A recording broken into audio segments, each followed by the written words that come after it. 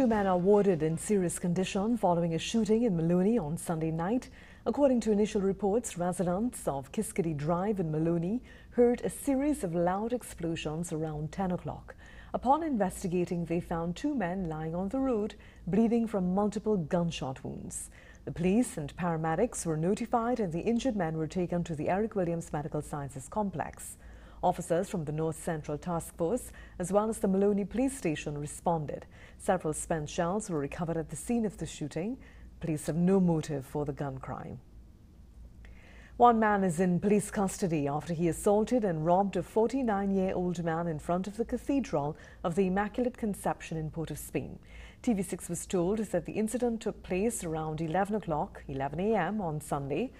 The victim was about to enter his Toyota Corolla, which was parked along Independence Square North, when he was confronted by a man he did not know. The suspect pushed the victim into his car before grabbing the gold chains that he was wearing. The suspect then casually walked away and warned the victim that if he tried to follow him, he would be killed. The police were notified and a team of officers responded. They were able to detain the suspect after a short pursuit along George Street. The stolen chain, which was valued at $3,500, was recovered. The 29 year old, who is said to be from Duncan Street in Port of Spain, was arrested and charged and is expected to appear before a master of the court this week. The double murder of a 37 year old nurse and a 35 year old man in Sangre Grande on Sunday morning is suspected by police to be gang related.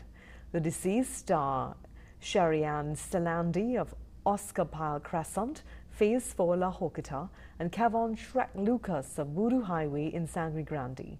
The two were found shot dead inside a Hyundai Elantra vehicle around 4.40 a.m. on Sunday. Crime scene investigators recovered 10 spent 9mm shells, one live round of 9mm ammunition, 18 spent 5.56mm shells, and three projectiles. Salandi's relatives did not speak to the media when approached at the Forensic Science Center in St. James. However, investigators believe that Salandi was a casualty of the actions of gunmen who were targeting Lucas. Police said that Lucas was well known to law enforcement, having been linked to several firearm-related incidents. An unidentified man was shot and killed in Laventille this morning, bringing the murder count closer to 400. According to investigators, the shooting occurred at Straker Village around 11.40 a.m. The man appeared to be in his mid-30s of African descent, was found lying face down off the road with multiple gunshot wounds. This year's murder count now stands at 391. A pharmacy employee who went to make a deposit of $50,000 at the Republic Bank branch in Center City Mall today was allegedly robbed. Police say details of the robbery remain unclear, but the employee claimed that he was accosted and robbed by unknown assailants along the Chaguanas Main Road on his way to the bank this afternoon.